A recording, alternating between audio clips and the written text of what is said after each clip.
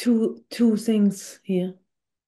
Either you are in that openness that you now know to be you, or you are with the grief of not being there. So I'm with the grief. Yeah. And this is my point that actually, I mean, life as it can be lived when you rest in that day by day is limitless. Life is full of so much potential. And you, in that, as a result, are filled with so much inspiration and so much joy. And that is the natural resting everyday life. It's not even an experience. It's not about a peak experience. It's about that which right now seems like a peak experience becomes your uh your outset. Yeah. And then you can like move the full day with that inspiration. And then in the evening, maybe you're tired, you know? And then there's like a dive in energy because the body is tired. But it's fully possible for you to lift yourself to that platform of life and of living.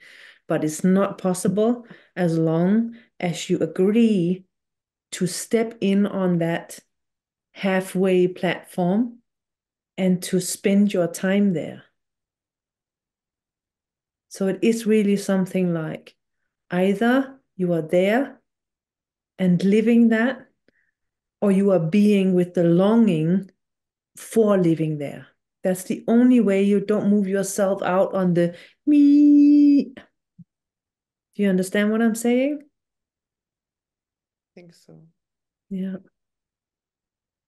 And it's totally okay to spend the time that it takes and to really let that longing be alive in you because we're talking about our return to wholeness here and if we're not allowing ourselves to to to be longing for that then what are we spending our time on we are biding our time you know like waiting for what the next peak experience just to return to what you know it's not worth keeping that's my point in a way so rather be in the longing in a really also very intense way until it moves you back, you know? Moves you back to that place where life is endless and the inspiration is endless and you are living a sweetness of yourself. because we're talking about the return to innocence, actually. This is what you're describing. This is what I'm describing. That's what life looks like in that innocence.